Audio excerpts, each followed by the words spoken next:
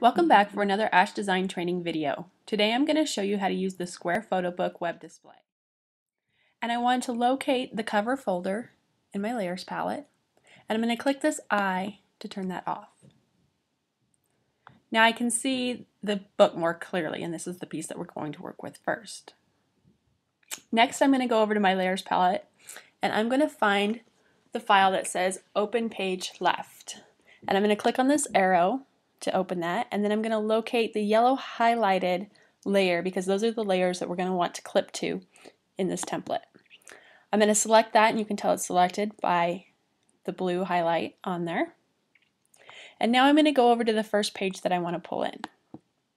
So I'm going to come to this page and the very first thing I'm going to do is go image, image size, and I'm going to change the height to 300 pixels. And this will make it fit better into our template. And then I'm just going to double click on this hand and it's going to make it large again so we can see it. The next step is to select the entire area. So I'm going to do Control A and then I'm going to copy it, which is Control C. And then I'm going to go back to my square photo book. I'm going to click on my layer and I'm going to paste it, Control V. I'm just going to try and center my image to where I want it. And now we're really ready to get started. So the first thing I'm going to do is come down here and I'm going to view my template at 500%. And it makes it really large and so I just need to scroll right back up to where we're seeing the, the layer that we just put in. So this is the layer that we just put in and then we're going to fit it right into this left page layer. So to do this I want to make sure that my layer 1 that I just imported is highlighted layer in my layers palette. And then I'm going to transform this Control T. And you can tell that the Control T worked by the little handles that are now on this box. But before I do anything else, I'm going to right click on my image and I'm going to select Distort. Now I'm going to take these little handles, it's going to let me move each handle individually, and I'm going to place it in the corner of that other layer. And so you can kind of see where it matches up and you just match those up as closely as you can and that's why we're at 500% so it's easier to get those corners right where we want them. So this one needs to come all the way over here and down to about there. And then I'm just going to go up to my top corners, do the same process.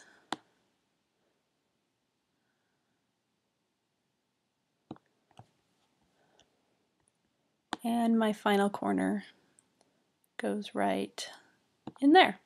To set that, I'm just going to hit the inner return key. And now I'm going to back out of this so we can look at it a little better. So I'm going to change this to 200%. And that lets us see this entire page, um, but it's still large enough that uh, we can see it and get some detail. Now, as you can see, it's still not filling the entire page. We've done the corners, but we're not filling the page of the book. So our next step is to transform it again. So Control T one more time and then we're going to right click and this time select warp. Now you'll see when I select warp it gives me these additional handles in here and I'm going to use these handles to just slightly move my page to conform again to the layer underneath. And you can play with you know how far out you go. Um, so the goal here is to fill the layer without distorting the image in a way that looks bad. So you can just play with moving these handles around to get something that looks nice. Same thing on the bottom side of things. On the bottom, can kind of adjust them back up a little. Now I'm starting to see the white come in right there. This one come down just a little. And then I'll just verify that my image looks pretty good. And as long as I'm happy with that, again, I'll hit enter and return. And let me just back out here real quick to 100% so you can see what that page looks like. So then we repeat the same process for the right hand side of the page. So I'm just going to close the open left page. I'm going to look for the open right page folder. I'm going to click on this arrow to open that. I'm going to select the yellow highlighted layer and then I'm going to find my second page. I'm going to go to image, image size. I'm going to change the height to 300 pixels and choose OK. I'll double click on my hand to fill the frame so I can see it. I want to select the entire image so I'm going to hit Control A and then I want to copy it Control C and then I'll go right back to my square photo book. Again verify that I have the correct layer highlighted and I'll paste control V. Get my arrow tool here and I'll align it as best I can. And then from here I'm going to zoom in to 500% once again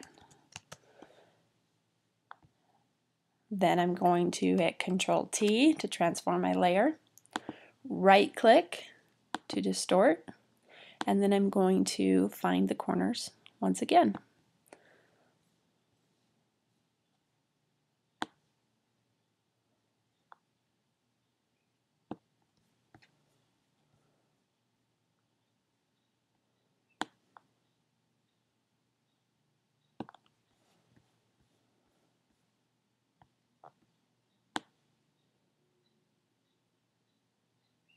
Once I'm happy with my corners, I hit enter or return to set that. I'm going to back out to 200% so I can see the entire page. I'm going to transform one more time, Control T. I'm going to right click and choose Warp. I'm going to use these boxes once again to distort my page to fit into the template.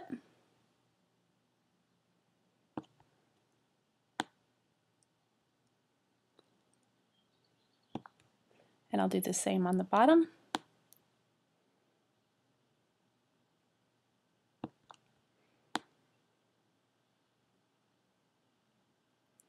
And once I'm happy with how that sits, I'll hit enter or return, and then I'll go back to 100%. If we're happy with how this looks, the next step is to do our cover. So I'll just click the eye to turn back on our cover layer, and you can see how it puts it right in here. And then I'm going to click this arrow to open it up. The first step is to find our yellow highlighted cover layer and select that. Again, you can tell it's selected because it's blue. And then I'm going to go to my cover image and the first thing I'm going to do is resize it. So I'm going to go image, image size. Again, I'm going to change the height to 300. Select OK. I'll double click my hand to fill the frame. Now in this case we only want the front cover to begin with so I'm going to get this select tool and I'm going to use these blue guidelines to help me. I'm going to start on this blue guideline and I'm going to select the entire front cover. I'm going to copy this layer and then I'm going to come back to my photo book. I'm going to make sure that the cover layer is selected and I'm going to paste control V and then I'm going to use my arrow key kind of center it. And now this is not clipped to the layer in this case. So to clip it, you can just right click between the layers right there and choose create clipping mask. And now you'll see that it's clipped into the cover. And you can also see that on my screen, how anything that goes outside of that cover layer does not show up. Now the next step is to transform that image to fit. So first we want to view it larger. This time I'm going to go to 400% and I'm going to make sure that my layer is selected and I'm going to hit Control T. And then to make sure I can move each corner individually, I'm going to right click and choose Distort. Now from here, I'm going to take each corner just like we did before and align them with the corner of the layer.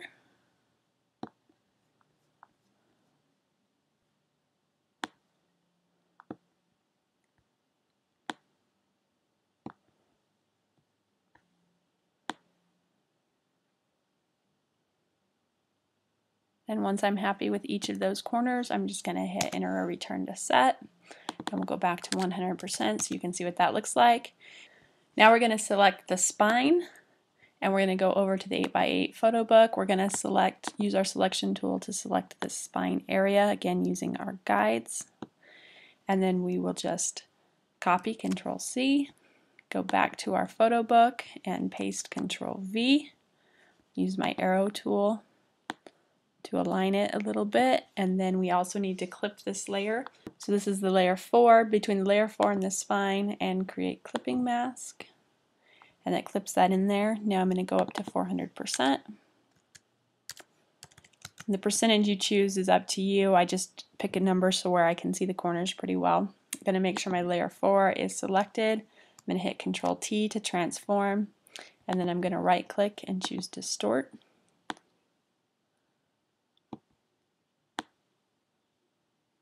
And then I'm just going to align my corners one more time. This is a much smaller area, so it's a little bit more difficult, and I sometimes have to go over a little to cover it the way I want. And then enter to set, and let's take a look again at 100%. And now we just have one more piece that we need to fill, so I'm just going to select the back inside wrap. I'm going to go back to my cover. I'm going to use my selection tool to select the back section of the book using again my guides. And then I'm going to copy control C go back. I'm going to control V paste. Then I'm going to clip these layers together. Just right click create clipping mask. I'll use my arrow to center it up a little go back up to 400% find my corners. From here I'm going to transform control T and then I'm going to right click to distort. And one more time I'm just going to align the corners to the layer.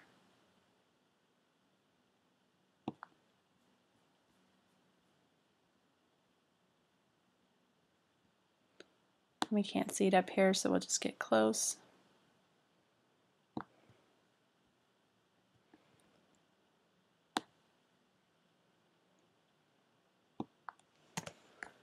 and then we'll look at it at 100%.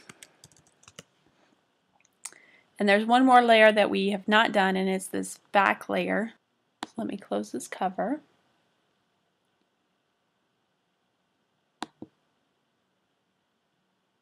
And right inside this open cover and inside page, we're going to go to the open book base right here, the other yellow highlighted. We're going to go back to our 8x8 and we're going to select the entire area. So we're going to hit Control A and you can see how now everything is selected.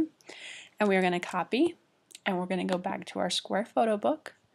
Make sure our open book base is selected and we're going to paste. And then we're going to clip those layers together. So hover between them, right click, create clipping mask. I'm going to use my arrow tool to center it up a little bit. And then we're going to right, oops we're going to increase this to 500 uh, let's do 400% again. And find an edge here. And we're going to do control T.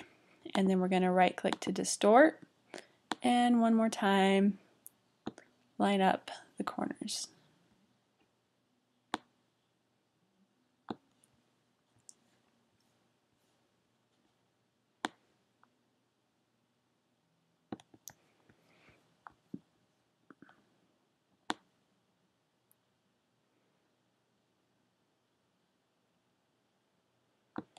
And once you're happy with that, just enter a return to set. I'm going to back out to 100% so that we can see it. And this is what our book display looks like.